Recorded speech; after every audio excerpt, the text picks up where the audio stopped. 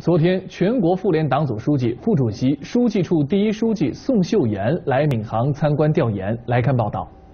在新鸿街道虹桥绿谷创意社妇女之家，宋秀妍与参加公休食饭活动的女性白领亲切交流，仔细询问了创意社的功能模块、运行模式，并对创意社妇女之家仅仅依托公益、技艺、联谊、社团四大板块，以贴心、时尚、优质的活动和服务为抓手，凝聚新领域、新业态、新阶层、新群体女性的做法表示充分肯定。